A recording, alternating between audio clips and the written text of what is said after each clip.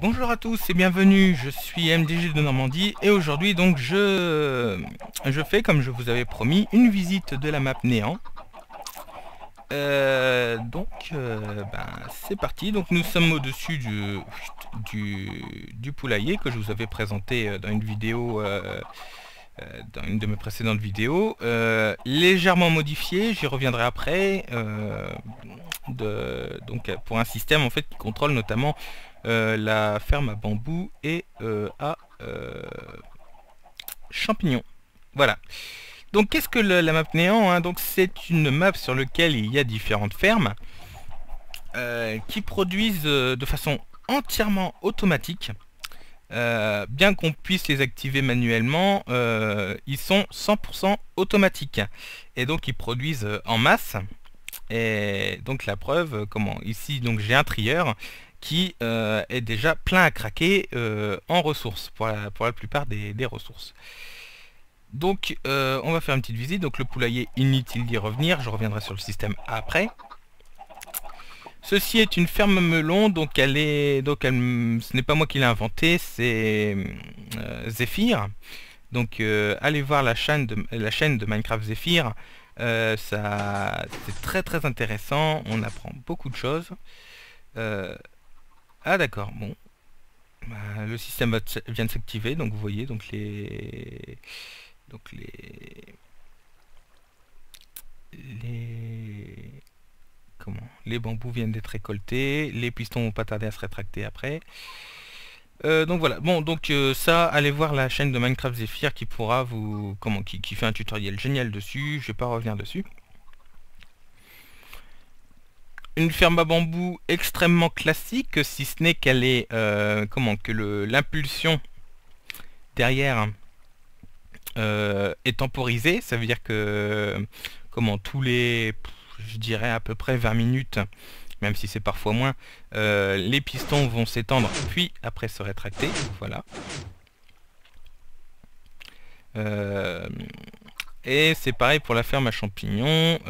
si on va en haut, euh, voilà, il y a de l'eau qui a été balancée à l'instant pour récupérer tous les champignons euh, qui ont poussé, comme par exemple, par exemple ce petit champignon rouge là qui, qui, est en dessous. En fait, euh, en fait, il y a un bloc au milieu sur lequel il y a le champignon mère et les champignons fils, je dirais, poussent en dessous et donc vont être récoltés par l'eau.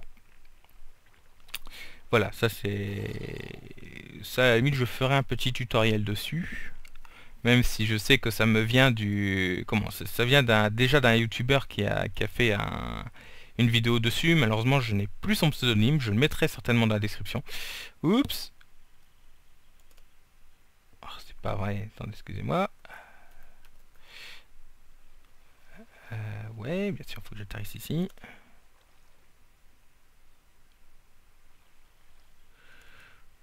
Ok, bon. Donc voilà, donc ceci est donc, donc la, ferme à champignons, euh, une ferme à fer, donc euh, à golem. Hein. Donc il y, a du il y a des villageois au milieu qui sont piégés, je sais plus combien exactement, je crois que ça en fait spawner. C'est ça, il doit y en avoir 128. Il doit y avoir 128 villageois, donc ça produit des, golems qui tombent dans l'eau. Et en bas, voilà, il y a une boucherie avec de la lave qui tue les golems et on récupère le fer. Voilà. Alors, si petite amélioration que j'ai fait vis-à-vis de des fermes, euh, comment euh, Notamment euh, celle de, Minecraft Zephyr, c'est que j'ai mis comment Une possibilité de récolte manuelle. Donc simplement avec un comment une un ascenseur à redstone euh, qui envoie du courant en fait dans les dans les blocs où il y a les, les redstone là. Donc cette partie là en fait là les, les deux blocs là ici, enfin toute cette colonne là en fait de deux blocs là. C'est moi qui l'ai rajouté pour, euh, voilà, pour des raisons pratiques, afin de pouvoir faire une récolte manuelle ou alors euh, carrément arrêter la production de melons. Donc comment ça marche? Et eh bien, Si on appuie sur le bouton, les, les, les pistons vont s'étendre, casser, euh, casser les melons, puis, après, puis après se rétracter. Donc en fait c'est plutôt un débugger qu'autre chose, hein, parce que normalement quand un melon pousse, hop, ça casse directement. Mais bon, voilà. Et euh, ici, l'arrêt de melon, en fait, ça va maintenir les, pistons étendus et donc empêcher les melons euh, de s'étendre tant que le levier n'aura pas été remonté. Voilà, euh, ici pareil, c'est une salle de contrôle. Oh, c'est pas vrai, j'ai arrêté de faire ça. contrôle pour la ferme à champignons, donc pareil, en bas, il y a un bouton pour la récolte manuelle, un levier pour stopper la production de, de champignons. Voilà. Euh, le réseau de Hooper, là, j'y reviendrai plus tard quand je parlerai du trieur. Euh, donc voilà. Donc ça c'est... pas D'ailleurs, on va peut-être pas tarder à l'attaquer. je parle juste rapidement donc du système que j'ai rajouté ici. Donc en gros, le repeater qui est là, euh, je l'ai... comment Je l'ai j'ai allongé son temps en fait. Donc en fait, euh, comment? Donc euh, ça se fait grâce à des boucles, comme ici. Donc ici on a une boucle, euh, deux boucles, trois boucles, enfin voilà. C'est c'est des boucles en fait qui, fait, qui font que, que ça allonge le temps. je vais vous faire une petite démonstration. On va prendre des œufs. œuf, donc ici. Ouais, j'ai tout pris. On s'en fiche. Je remettrai après. Euh, voilà. Hop.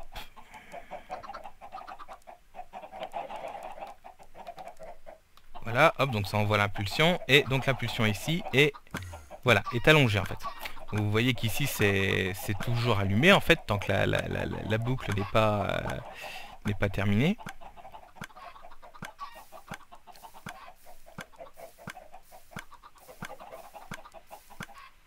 Là, je vais avoir une surproduction, mais bon, c'est pas grave. Donc ça a l'avantage, vu que c'est très long, ça c'est de vider presque complètement la réserve d'œufs. Euh, donc déjà, ça, augmente ma production de poulet euh, de façon énorme. Et donc, en gros, euh, pendant que donc ce, système est, est activé, donc ça éteint cette torche qui initialement est, allumé. Hein. Vous allez voir qu'à la, fin de, la fin de la boucle qui va arriver, voilà, ça s'allume. Et en fait, euh, ici, ça s'éteint. Euh, donc euh, oui, donc en position normale, c'est allumé. Et après, donc, il faut inverser les, différents systèmes. Donc ça envoie en gros une grosse impulsion tout le temps qu'en fait il y a la minuterie. qui arrive par là, j'y reviendrai, et ici. Donc ici, il y a un inverseur pour rendre le courant logique. Hein. donc euh, quand, le, courant s'éteint ici, ça s'allume ici et ça envoie donc l'impulsion nécessaire en fait à, euh, euh, l'extension des pistons de la ferme à, à, bambou ou à canne à sucre, c'est vous qui voyez. Euh, donc voilà, donc c'est comme ça que euh, la ferme euh, à melon est automatisée et c'est le cas aussi pour la ferme à champignons, donc là le bras dont je parlais. Ici donc toujours pareil, j'inverse et ici j'ai dû mettre un cette porte cette porte un peu spéciale qui permet en fait de transformer un courant.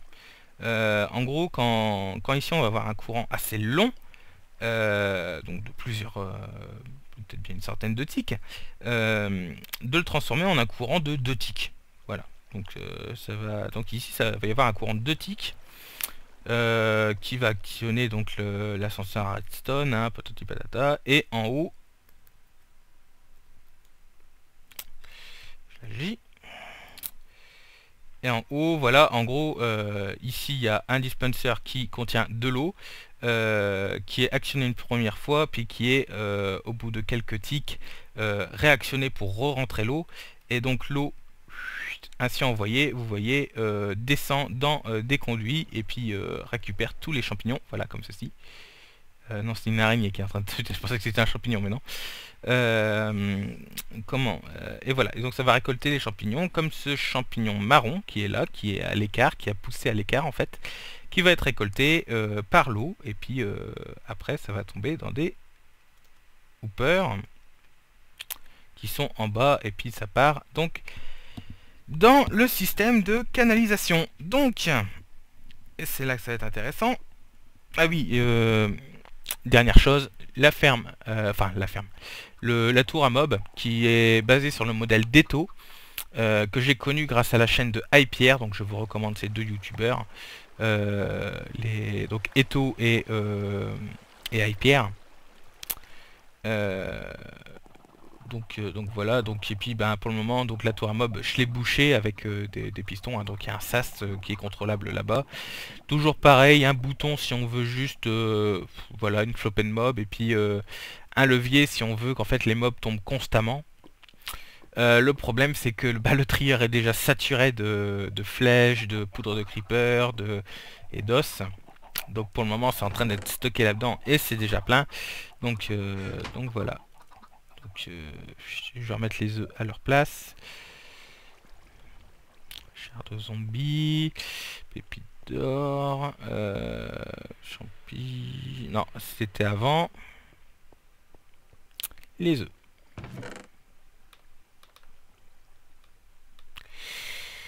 Voilà, donc, euh, donc voilà, donc comment ça marche hein, le, le, trieur, c'est assez simple. Euh, donc qu'est-ce que j'ai qui va euh, partir dans le trieur? J'ai ça et ça. Donc je sais que de la ficelle et, du, et de la chair de zombie, on est loin d'être plein, donc tac, tac, voilà. Donc oui, donc à chaque fois dans les fermes, hein, donc il y a un levier également pour en fait bloquer le coffre, pour empêcher le coffre en fait d'envoyer ses ressources euh, vers le trieur. Donc là c'est le cas, hein, donc il y a ce levier qui contrôle ces deux torches en bas, qui contrôle en fait les deux hoopers qu'il y a sous le coffre et qui empêche donc les items de tomber dans, dans, les canalisations. Canalisations qui partent, direction, pop pop pop pop pop pop pop pop, hop, cet ascenseur euh, item. Donc voilà, donc quand il y a euh, des items à l'intérieur, euh, d'ailleurs ça devrait pas tarder d'arriver, voilà. Donc là ce sont mes les fils qui arrivent. donc ça encore ici c'est activé, ça désactive l'inverseur qui est ici. Et donc la cloque peut partir. Donc elle tourne, et puis ici elle envoie une impulsion à l'ascenseur à redstone euh, qui fait en fait monter les items un par un. Et euh, les items sont envoyés euh, dans le dans les, dans les canalisations. Et puis à chaque en fait ici donc il y a des filtreurs. Donc par exemple ici c'est le filtreur pour les pour les poulets crus. ça j'y reviendrai plus tard cette lumière là et donc ça remplit à chaque fois voilà les, coffres qui sont en bas, en commençant par celui d'en bas. Donc une fois que celui d'en bas est plein, ben il va... Oh Oula, la galère Euh, ellipse Ellipse Voilà, donc excusez-moi, donc euh, euh, ouais, avec mon pad, j'ai double cliqué, sur, enfin j'ai cliqué sur le coffre, ça l'a cassé. Bon, euh, donc voilà, donc à, manipuler avec prudence quand même. Et donc, euh, donc voilà, donc ça va, je disais, donc remplir les, coffres du, bas vers le haut. Donc voilà, donc euh, et ces lumières à quoi elles servent? Donc en fait c'est contrôlable manuellement. Hein. Euh, donc en fait voilà par exemple ça ici si je veux le verrouiller, hop je le verrouille. Bon voilà. donc en fait comment Si vous voulez, donc c'est manuel. Donc en fait qu'est-ce qui va se passer quand je l'active? Quand je vais activer un levier en fait ça va activer la poudre de redstone qui a au-dessus. Donc euh, oui, donc mon pack, pour, petite parenthèse, hein, pour, ceux qui voulaient savoir, le pack euh, de texture que j'utilise c'est Affinity HD. Voilà, la version 128, euh, 128, parce que 256, c'est un peu hard. Mais bon, voilà, donc c'est Affinity HD que j'utilise, le pack 128, le 256 c'est très très joli, mais difficilement gérable en fait. Euh, donc voilà, donc euh, le oui les filtreurs rapidement comment ils fonctionnent. Euh, donc on a évidemment le l'item qu'on veut trier et donc c'est fait avec des, des commandes blocs après. Lorsqu'il y a un item demandé qui arrive, ici le, la redstone s'étend d'un en fait, ça va éteindre la torche donc pendant, une, pendant une courte durée. Donc ici ça va également s'éteindre pendant une, une, courte durée et ça va faire tomber les items en fait dans, le, dans les coffres. Voilà. Bon. Après, les, systèmes comme ça de, tri, c'est pas, pas très très compliqué. Hein, je veux dire, euh, voilà. Bon, donc euh, voilà, et donc oui, donc je disais quand, quand ça, quand la poudre de redstone va être activée, ça va euh, bloquer le hooper. C'est-à-dire que le hooper ne va plus attirer d'items vers lui. Donc euh, s'il y a un, ici pour l'occasion, s'il y a un melon qui passe, vu que ici c'est activé, le melon va pas être aspiré par le hooper. donc il va continuer sa route et puis être et donc tous les objets euh, non triés en fait euh, vont se retrouver dans ces deux euh, compartiments qui sont le compartiment autre en fait. Donc tout à l'heure j'avais mis un répéteur pour essayer le système et ça marchait très bien, ça arrivait dans autre. Voilà, voilà, voilà. Donc voilà pour la, map néant. Je la mettrai certainement en téléchargement. Donc vous voyez, pareil, hein, la, ferme à poules, hein, c'est saturé, hein, et ça, ça, pas. Euh, la ferme à... à... melon, pareil, je vais pas tarder à la verrouiller, quoi, à, arrêter la production, parce que c'est ça devient un peu trop énorme. Ah oui, l'arrêt de la production pour, euh, pour la ferme à poules. Alors, il y a deux leviers pour arrêter l'arrêt de production. Donc, il y a ce levier ici, et le levier ici. Donc, euh, je vais commencer par le levier ici. Donc, ce levier ici euh, va en fait activer ce hooper, parce que pour moi il est désactivé par la torche. Donc ça va activer le hooper qui, bah, en fait, qui va vider les eaux au fur et à mesure et directement les envoyer dans le trieur. Euh, voilà, ça c'est fait. Euh, et, ici, en fait, ça va euh, forcer le... forcer, en fait, le...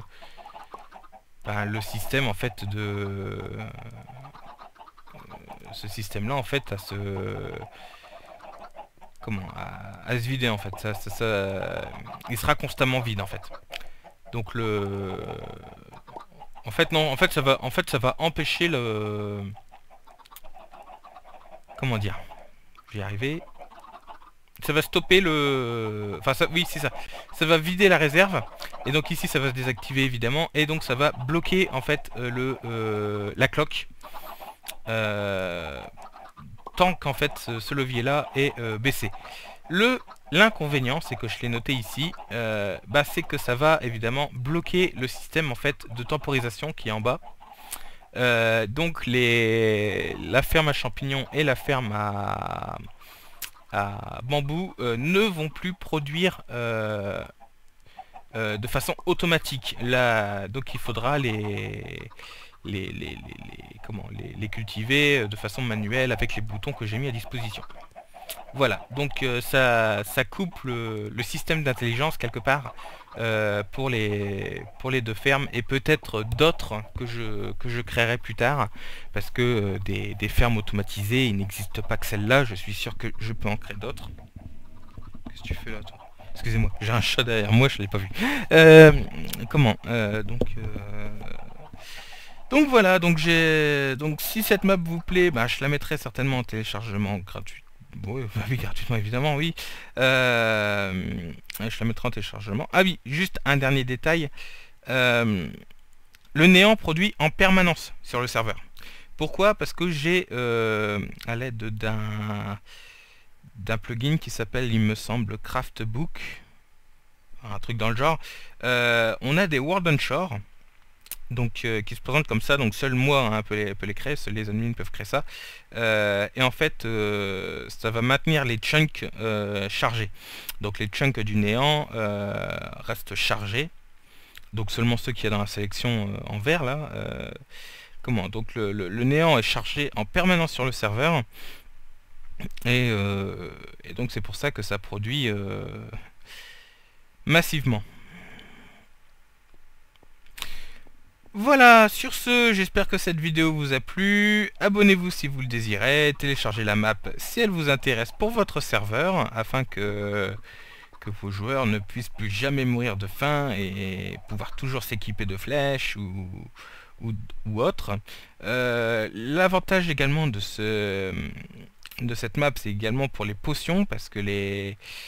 Euh, tout, tout, tout, les... ça produit pas mal en poudre de creeper. Et donc pour faire les potions splash, euh, ça tourne nickel. Alors juste un truc que j'ai mis moi, mais qui... Disons qui ne marcherait pas forcément sur votre euh, serveur. C'est ça, en fait, c'est la production d'or et euh, le boost à mob, en fait, c'est... En haut, en fait, si vous voulez, il y a une cloque avec un, dispenser infini qui fait spawner des, des mobs, en fait. Donc là, en fait, il y a un dispenser infini quelque part qui envoie des, qui envoie des mobs à volonté. Bon, ça peut être un petit peu du shit si vous voulez, si, vous le considérez comme ça, mais sinon, euh, voilà quoi. Et puis, euh, en gros, on a laissé ça tourner 48 heures et depuis, ben, on n'arrive plus à se débarrasser des items. Voilà, donc, euh, prudence avec ça. Et puis, donc, il suffira sur votre serveur de mettre le, dispenser qui est en haut en, infini si vous voulez avoir le même système. Mais sinon sinon voilà quoi, c'est pas.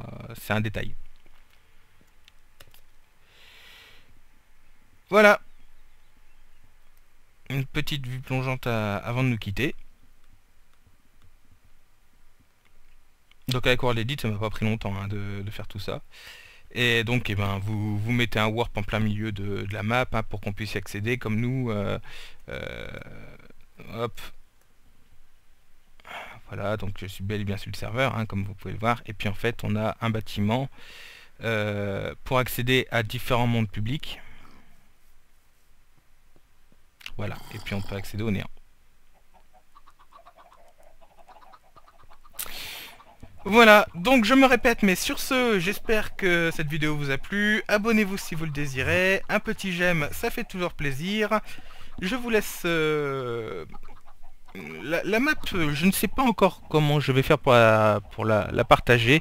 Euh, je pense que je la mettrai en téléchargement sur le site euh, mineserve-mdj.fr.nf. Euh, je pense que ce sera le plus simple. Ouais, je vais, faire, ça comme ça. Donc ça va être peut-être un peu long mais à, télécharger, mais, euh, mais vous l'aurez, vous, pourrez l'avoir. Donc euh, surveillez le site mindservemdj.fr.nf et d'ici quelques jours, euh, la map sera disponible. Voilà. Et je vous dis à bientôt. Oups, euh, petite euh, parenthèse avant de nous quitter, euh, j'ai une petite annonce à faire. certains d'entre vous s'en doutaient, donc comme les deux années précédentes, je serai à la Japan Expo 2013, donc le 6 juillet. Voilà, seulement le 6, hein. je, ne peux pas me, me permettre d'y aller plus longtemps, malheureusement. et je serai accompagné de mon co-administrateur TB Killer. Euh, une amie est censée nous euh, prêter euh, son appareil photo numérique qui nous permet également de filmer afin qu'on puisse filmer 2-3 ben, cosplays, 2-3 trucs sympas de la Japan. et puis et puis voilà, donc je serai habillé comme d'habitude en costard, hein, donc costard chemise, et j'aurai un masque blanc. Voilà. Donc si vous voyez un mec en costume, euh, enfin en costard, euh, avec un masque blanc en train de se faire filmer par un autre mec, il y a de grandes chances pour que ce soit moi. Donc euh, voilà. Sur ce, je vous dis à bientôt.